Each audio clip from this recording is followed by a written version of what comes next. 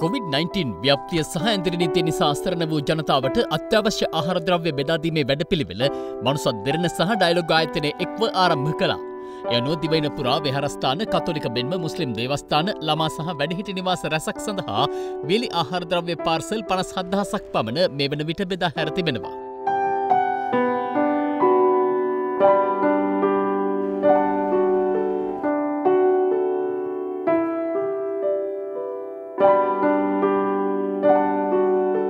මනුසත් දෙරන මගෙන් සිදු කරනු ලබන මේ සත්කාරය අපි තාමත්ම අගේකොට සලකනවා.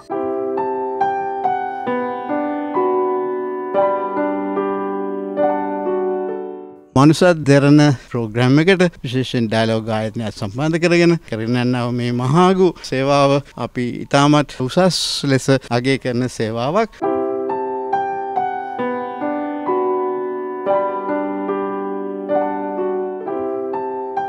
මේ අතර මේ දිනවල රාජකාරීහි නිරත සේවකයින් වෙත ලබාදීම සඳහා හම්බන්තොට ජාත්‍යන්තර වරාය සමාගම විසින් මුඛ ආවරණ කට්ටල මනුසත් දෙරන වෙත පරිත්‍යාග කෙරුණා.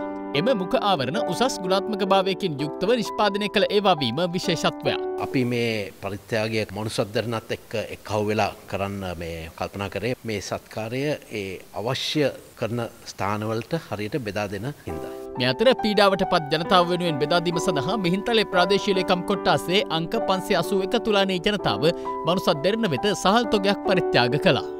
බොහොම සාර්ථකව මේ මානසික සත්කාරය වෙනුවෙන් ඒ සහල් එක් රැස් කිරීමේ කාර්ය අපිට සිද්ධ කරගන්නට පුළුවන් වුණා.